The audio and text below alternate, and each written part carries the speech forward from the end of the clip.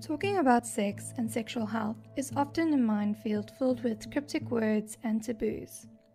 Being misinformed or ignorant of the relationship between sex and sexual health will leave you vulnerable to unplanned pregnancies, HIV, and other sexually transmitted diseases. How should we be talking about sexual health? And more importantly, when should it start?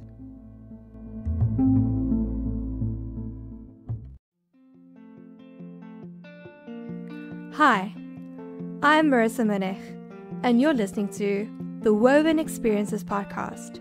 Here we share stories around important topics and explore the interconnectedness between ourselves and the world around us. Let's get into it. Today's guest is a fellow podcaster, Naledi Pooe. She is the host of Uteronomy, sharing information around masturbation, contraception, menstruation, and overall sexual health for those with uteri. Welcome to the Woven Experience podcast. Thanks so much for being here. So, Naledi, just for the listeners who are unfamiliar, can you give us a, kind of like a short snippet of what your podcast is about? Okay, so my podcast is called Uteronomy, uh, the Gospel according to Saint Uteri, and it's a play on words because Deuteronomy is a book in the Bible.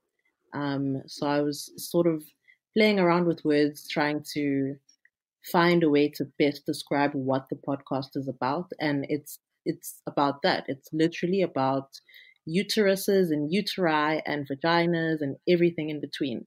So we talk about anything that has to do with that and just the general body it's not limited to people who present as female. It's, you know, we're trying to expand so that we can talk about different things. Some of the things we've spoken about already are menstruation, birth control, masturbation. So it's sort of on that that sort of path.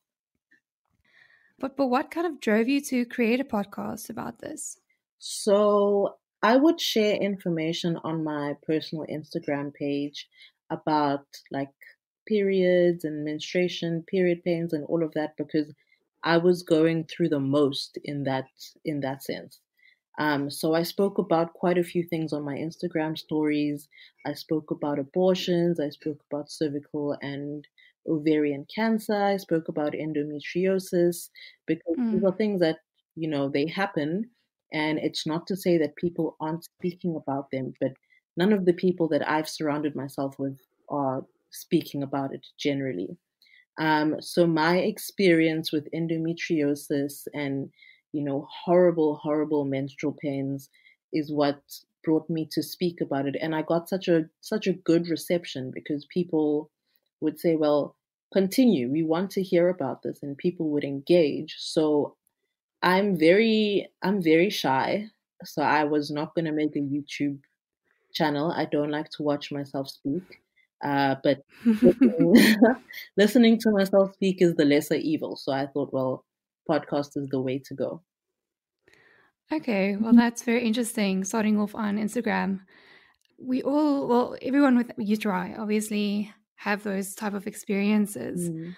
But from your experience and the type of feedback that you mentioned you got and so on, what challenges across the board or generally that you that you get when when people uh, when it comes to people's sexual health? You know, what kind of stands between them and achieving or getting access to that type of information? I think, and it's strange because we're in 2020, but I think it's the whole concept of all of it being taboo. You know, you can mention that you it's your monthlies or you have your time of the month or whatever you want to call it but we never call it what it is it's your period you're menstruating it's the start of your cycle and mm. you also don't call your body parts what they are. So you wouldn't call an elbow anything else. So why would you call a vagina anything else? You know what I mean? Yeah. So what people more than anything were struggling with was calling things by their name. I think that was the shock factor of the Instagram stories and the podcast that I was just saying vagina, vagina, vagina, vagina, vagina all over the show. it took a lot for me to get there as well, you know, to saying vagina without being nervous or, you know, and I still get nervous because it's not a pretty word. It's it's not it's not a sexy word, but that's the point.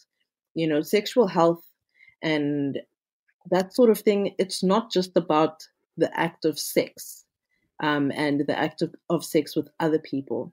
So yeah, people think because it's so taboo, you know, they don't know that other people are experiencing horrible period pains or the reasons why they're experiencing those things, the types of contra- contraception that's available out there. Um, people only know the pill and they don't know about the IUD, the IUS. There are so many things out there, but no one knows because one, your doctor only tells you about the pill, and two, no one else is talking about it. So I think that to sort of sum up answering your question, the things that people were most interested in were calling things what they are and shared experiences. And that way we can learn and we can grow by sharing our experiences. Yeah, I feel, you know, personally, um, my parents also fairly conservative uh, not calling what it is and you know the whole stigmas and taboos around certain topics it kind of uh, well it had an impact on my kind of relationship to my body. Mm-hmm. is it something that you've experienced or some of your listeners maybe? I still i absolutely still experience it. Um so i had started the podcast and actually in i think it was in july this year i was doing a promotion for the podcast um, and so my mom came and she saw me doing this. So she asked me if she could see the video. And I was like, you can see it, but don't be weird. Um, because you know, you're so used to everything is like a secret, you know, besides talking about, you know, I need pads or whatever with your mom. And my, my mom was quite mm. open. She is quite open about sex and periods and all of that, but she's still very conservative. So mm. it's, we don't openly talk about these things. And so I felt very shy. I don't know if that's the right word, but I was very shy to show my mom a video of me saying vagina all over the place, you know, and oh, yeah. my, my sort of my thing is hi my name is naledi and i like to talk about vaginas and that's a shock if that's not something you're used to and i think that's a shock also to our parents i actually put in in one of the episodes a disclaimer to say if like you're my parent or my aunt and uncle or whatever, like listen and be educated, but don't be weird around the dinner table. We don't have to talk about it. You know what I mean? And it's because we don't talk about it. So that really has affected, like you say, the image that I have with myself, the image that I have of my body, the things that it can and can't do, the things that I would like to explore. You know, it's still I, I say the word vagina all the time, but I'm still very shy about talking about sex. And it's like, well, that's a little bit, it's funny because the one doesn't have to do with the other, but they mm. will have to do with each other. So it's, it's just, yeah. I, I will, I will never talk to my mom about sex, not yet anyway. Uh, but I will say something about, uh, I have a rash on my vagina if that's what had, that's, if that's the case, you know what I mean? I know what you mean. I think it's uh, it's because we grew up a kind of uh, with the, with the whole idea of vaginas being sexual organs mm. and reproductive organs, and I think like the the emphasis on that was was to an extent it was no it was no longer part of your body like your toe or your ear. Exactly it was it was basically uh, just just for one purpose. And it's a secret. It's it's your down there. It's got its own special name. And oh yeah. and it's very you know looking at children it's very harmful to to call things something else because you know i read a story about a child who was speaking about her uncle eating her cookie. And you know as an adult you can of if a mm. child telling you this, then you're not you're not at all going to think what you're thinking if it was an adult telling you this. And so mm-hmm. it becomes impossible for children to share the, the things that are happening to them and with them because one, it's a secret place and no one must touch it and no one must see it and no one must talk about it. But 2 mm-hmm. I'm using the name that you told me to use, and then you're not understanding the severity of the situation. Um, mm. So that's also that that was a big motivator for me. Um, saying the word vagina and saying the word penis. I don't even like like people call vaginas pussy and they call penises dicks, and I'm so uncomfortable with those words because it's. Ugh, I think that's more vulgar than vagina and penis, honestly. Yeah, yeah. Well, you know, being kids, we all had names uh, for our special bits, as you say, for mm. our vaginas and our penises. But you know, what was your experience? You know, it starts at a young age. What was your experience at school? What kind of sex? What was sex ed like then? At school, as far as I can remember, there was, you know, education about HIV and AIDS, and maybe education about STIs and STDs but I found that we weren't taught how these things happen. So you know that you can get something called a sexually transmit, transmitted infection and you can get that if you have sex or if you you know mix saliva with another person but no one ever says this is what sex is and mm. parents are also against that happening in school because the thinking is that that's now going to promote kids going and having sex but mm-hmm. I would like to think that you tell them what it is so that they can understand it and you tell them at the level that they're at so that they can understand it so that they can ask questions about it and so that you know everyone can become comfortable but everyone is uncomfortable and so it's not the, the conversations aren't happening at school and they aren't happening at home and i had quite a comprehensive sex education from my parents. You know, they my dad was a bit more cryptic about it, but my mom was very open about, you know, what sex is and why people do it and the circumstances in which people do it and why you shouldn't do it again she's quite conservative so you know before marriage or for a mm-hmm. certain age or if you don't have a boyfriend because it's something that that's sacred that you want to do with someone special and that's not necessarily the case but that's the sort of education that I received from my parents. So I was lucky in that most people don't have any conversation about sex. Uh, but my mom would tell me, you know, growing when she was growing up, people would fall pregnant and they didn't make the connection that what they did was sex. And as a result of that sex, they fell pregnant. And so if you're not speaking about what it is and what the consequences are, you know, if you just say stay away from boys, and if you hold a boy's hand, you're going to fall pregnant. Well, then everyone's just going to stop holding hands or hold hands um, to rebel against it. But then they won't know that when their genitals touch in a certain way, it can cause STIs, STDs, HIV, and and pregnancy. Mm. No, that's very true. Now, I also remember, you know, if uh, obviously it's a very tense and nervous everyone's giggling mm-hmm. type of situation. Um, but people who asked questions, whether they, they were funny or or actually just curious, uh, they were often very ridiculed or put on detention mm. Mm. for putting a, a teacher on the spot. And you see, then what's the value of education if you're ostracized for asking questions, whether you're asking them genuinely or you're asking them as a joke, like you say, then there's absolutely no value, then they might as well just not do it at all. Yeah. So talking about this, what what do you think you would have liked to experience at school? What kind of sexual education did you would you would have appreciated? I think I think more than anything, I think they should when they speak about sexual education, it's not just about sex and safe sex and the results of sex. It's what sex is, it's what your sexual organs are, and the purpose that they serve within your own body. Um, so if you don't know that you produce estrogen and you produce progest- progesterone and progestogen, and you know, you don't know that you produce those hormones through your your reproductive organs. And so you become an, an adult and you have to go on the pill and they're telling you about all these hormones and you have no idea what they're talking about.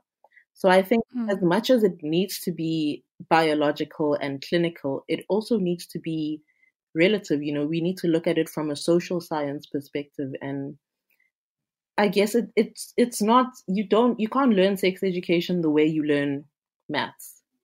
There needs to be a, a different approach to that. And so my my preferred approach would have been, you know, a sort of relaxed environment where we sit and we talk when people ask questions, you know, and children love to ask questions and children love to make reference to things.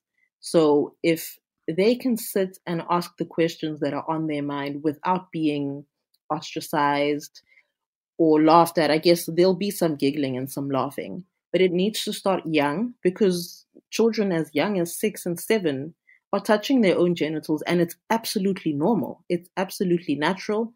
It's mm. it's it's a way of comforting yourself and it's not necessarily sexual. It's almost never sexual when they're children. So if we were to, from a young age, talk about what we have and what this means and why one is different from the other. Yeah, normalize these types of conversations exactly. and questions. And then if you start like that, then it makes it so much easier once a child is is older to then bring the more advanced conversations in about sex and about, you know, that sort of thing. But now you're, yeah, you're bombarding us with this is a vagina and this is a penis, and if they touch, you'll get pregnant. And, you know, it's just a shock. Hmm. Yeah. Yeah, I think language is important, especially with children, like you said. Absolutely.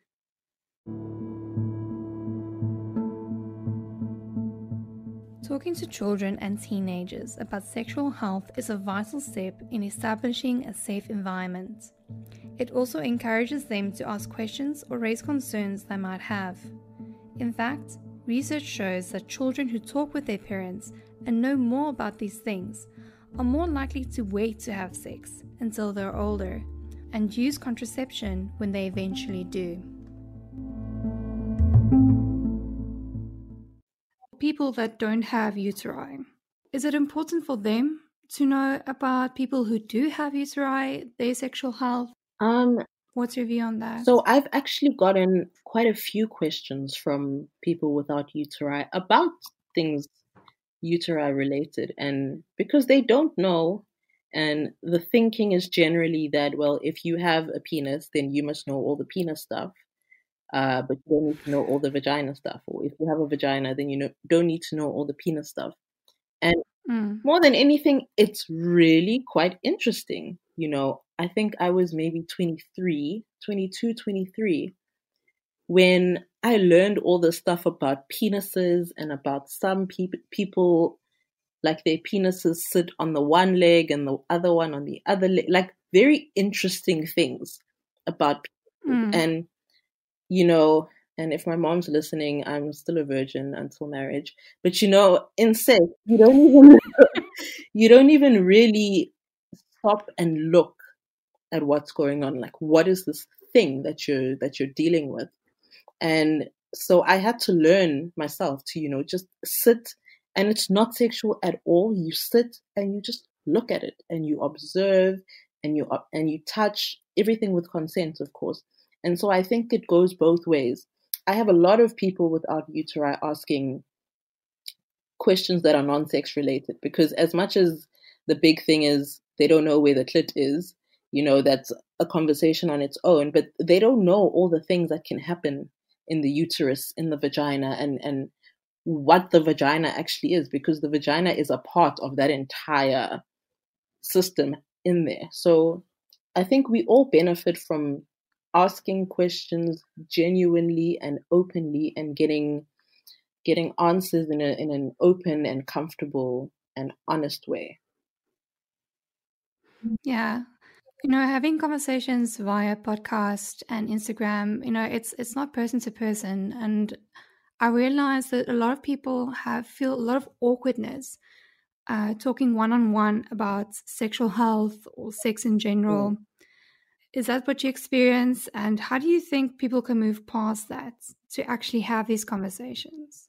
I mean, it's always just easy to speak into a microphone or to type into a phone or a computer because no one's really listening. But even, you know, speaking um, via podcast, like I also had to get past that initial shyness. But it's honestly just talking about it and you know it doesn't have to be serious conversations i'm still very like i'm very giggly when we talk about sex and like I don't know, sex positions or sex toys or I'm very, I'm very, very giggly and very shy and nervous.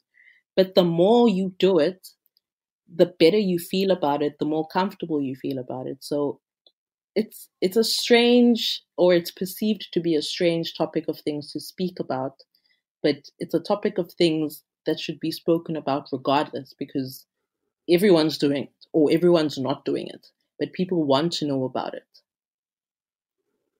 Yeah, so basically, you know, practicing speaking about it because we've isolated that kind of conversation to the back of the mind for, you know, one person. You know, usually you allocate it to one person, whether that's your spouse or your partner, or if you're, if you can, your parents, uh, whoever that person is, do you speak about these kind of things? Absolutely. And we're always so interested in what other people think but we don't ask because then we think they're gonna think there's something wrong with us or we're strange. But it's it's really just all in our heads. If you ask a question, chances are people are gonna open it honestly and answer it sorry honestly and openly, and chances are they were they were thinking the same thing. Yeah, and uh, you know, on your podcast, you often you know incorporate not just the information and research that you provide, but kind of you incorporate your own personal experience and you often make reference to that. Is that, you know, do you feel vulnerable when you do that? Um, I do. I'm I'm quite selective about the information that I do share. Um, and I sort of gauge from people what they want and need to know. And that's how I decide what I'm sharing and what I'm not sharing. Um, so being open and honest is important but it's also important to have boundaries for your own for your own sake um, and also just i don't know there's some things if my parents come across them or if other people come across them i just don't want them knowing so there's a lot of things that are very personal and i'm not going to share but there's a lot of things that are very personal and it's important to share yeah, that's a very fine mm. balance it's very it's very but i think at the end of the day i look at like sometimes i record whole episodes. Not that there are many. Uh, that's me throwing shade at myself. but I, I, record whole episodes, and then I'm like, mm, I'm uncomfortable with people knowing this about me right now. And maybe later it will be, I'll be happy to share it. But for now, I'm not going to, and that's okay. Because you know your podcast is so candid, and you, you know with your candid conversations. I wonder, does it reflect the type of conversations you have with your friends? Do you guys have that candidness? Or, you know, are the all the conversations changing in in your generation? So I'm quite open with my friends. I have like I don't know if everyone has this, but I have the one friend that you know, when you try something new or you have a difficulty, you know, text her quickly and be like, oh my gosh, we tried this in sex and it was so cool, or it was so horrible, or oh my gosh, I tried this toy, you should totally try it. Or mm. even, you know, and we don't talk every day necessarily, but it, it'll be just an update like, hi, please call the police because my uterus is trying to kill me. Um, and I have that one person, which is, it's great. It's an amazing relationship that we have. Um, but I think, so m- my other friendships are also quite open, but not to that extent. Um, but more than anything, I've seen with my sister. I have a younger sister and she's 19 now, and we've never been, we've never had that sort of relationship where we talk about sex and boys and stuff, mainly because I was uncomfortable about it. Um, you know, mm. you see this person as your little baby sister and now they're growing into an adult and they're doing adult things that you might or might not be doing and it's it's very uncomfortable. You have to get over it yourself first. But my relationship with my sister has improved so much because we talk about these things. She listens to, to my episodes before I publish them and she says, think about this and think about that. And she gives me feedback from her friends. Um, so that's that's great. Um, I'm hoping to expand that further, and it's the same with my sort of you know close friends who are younger than me, who are my sister's age and younger. Those close family friends, mm-hmm. where they come to me and they're like, "What do you think about this pill?" or "How does the morning after pill work?" You know, and it's it's shocking because you're like, oh my gosh, the 17 year old is asking me about the morning after pill. What am I going to do? but then you have to take a step back and say, well, when you were 17, what did you want to know? And did you have anyone to ask about it? Um, and mm-hmm. I want to, I want to be that big sister for whoever needs that big sister. Um, whether that person is older or younger than me, because it's not, it's, it's really not about age. I have people older than me asking me questions of things that, or, or about things that they thought about that they just never got the answer to. Yeah, and normalizing these types of conversations helps to create safe spaces for people to reach out and ask questions and share experiences. Thank you so much for joining me, Naledi, and thank you for being the big sister to those who might need it. Please check out the Uteronomy podcast. All links will be provided in the description. And that's a wrap. Thank you so much for tuning in to today's episode and be sure to subscribe to this podcast to avoid missing out on any future episodes. I'd appreciate it if you could leave a review. And if you have any thoughts on today's episode or perhaps topics you would like me to touch on, you can contact me via email. A link is provided in the description. I hope today's episode provided some new insights to what it means to be human. And I hope to see you in the next one.